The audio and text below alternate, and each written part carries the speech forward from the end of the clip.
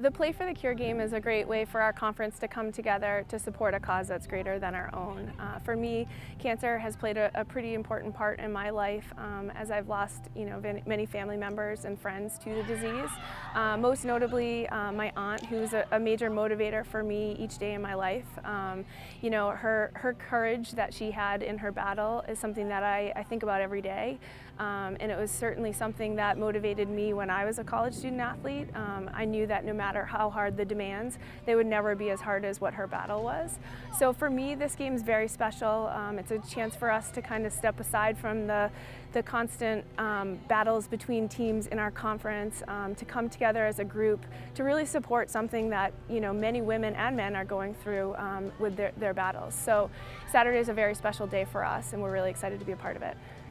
A lot of people on my te our team have been impacted by someone who has had breast cancer or lost someone and I think that it's really important that we come together off the field. I know a lot of the teams we play in the NEWMAC are we're battling on the field but it's great to come together for a cause that's bigger than ourselves, bigger than field hockey, bigger than D3 field hockey and it's really great because we're not just raising money as one team, we're coming together for all the teams off the field for something that is affecting more people than we can even help and we want to just make sure that we're doing the best we can to help people uh, because in the future I know a lot of people will be affected by it as well. We play for people that have been affected with breast cancer. For me, it's my grandmother who passed away when I was 13. I play for my aunt that was affected by breast cancer. I play for my family friend who passed away from breast cancer. I play for my grandmother.